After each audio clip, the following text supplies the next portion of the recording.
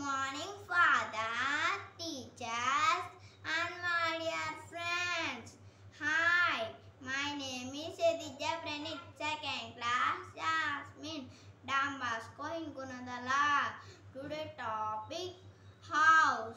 Here is a nest for a sparrow. Here is a hive for the bee. Here is a